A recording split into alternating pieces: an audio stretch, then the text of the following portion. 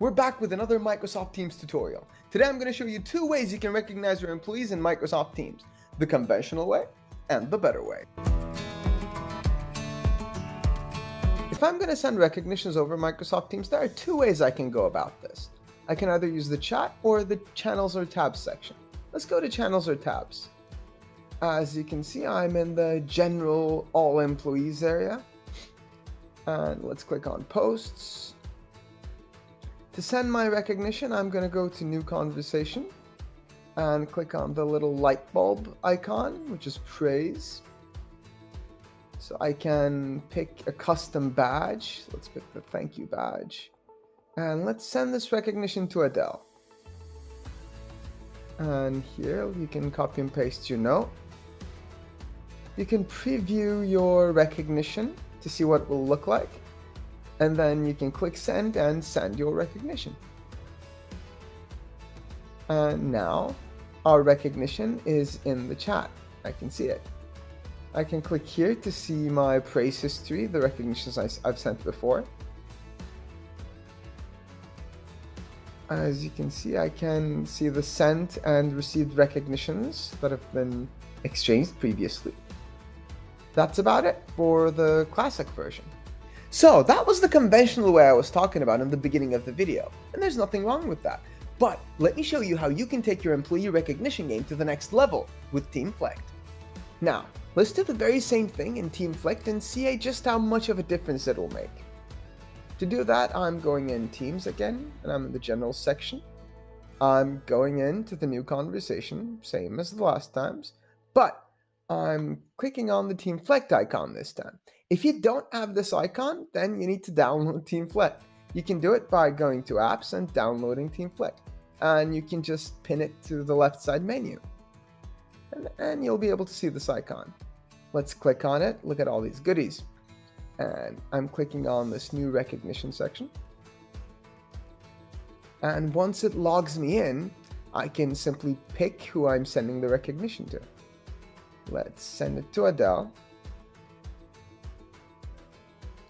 And click on one of these badges that you can customize and make anything you want. So let's pick the great job badge and let's put in our message and send the recognition. What it's going to do is it's going to turn this into a card and right now it's in my chat box. We can see how it looks and once I press enter I can send it out. What you can do with Teamflect recognitions is that you can put them on a channel of their own, as you can see here. And all the recognitions you give out to everyone in the team will just be there. It's a great way to establish an employee recognition culture in your organization. It's a great tool for employee engagement and it keeps the spirits high. It creates a great synergy in your organization. So give it a try. Now, we can do the very same thing in the chat section as well. I can just pick someone in the chat and go to new conversation and just do the very same thing. Now let me show you how you can use this to send recognitions during your meetings.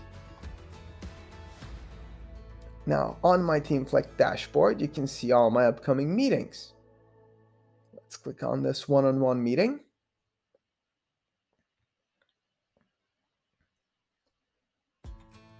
Let's send the recognition out to Alex. And in my meeting page, you can see all the little places I can click, like tasks or feedback. Let's click recognition, and I can just send the person I've selected a recognition. One of the biggest advantages Teamflect has is that it is very customizable, right? If you're using Outlook, you can send your recognitions over Outlook. If you want to send your recognitions over your meetings, just send them over meetings. And what Teamflect does is it can convert all your recognitions into data and let you make the most out of your recognitions. So let's check out the data side, shall we? And here I am in the admin center. Let's go to reports and click on recognitions. And let's see the amount of data we can reach here. And recognitions by data and badge type Below it, recognitions, senders, and receivers. So I can see the top senders and receivers. And this is my favorite part. You can see the words most used and the interaction between departments. And in the bottom section, you can see all the data regarding all the recognitions sent so far. And on the right hand side, you can filter this data however you want. And those are the reporting capabilities. That brings us to the end of this tutorial. We really hope you found it helpful. If you did, please subscribe to the channel for more content like this. And to schedule your free demo with Teamflect, you can just click on the link in the description below. This has been Emre with Teamflect. Have a great day. Teamflect. Build teams that deliver.